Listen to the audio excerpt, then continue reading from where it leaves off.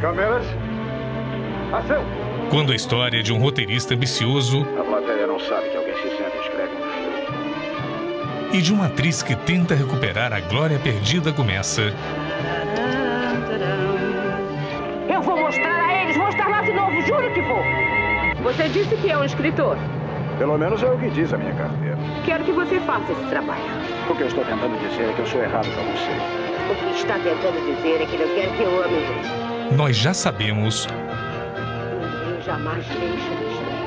como vai terminar.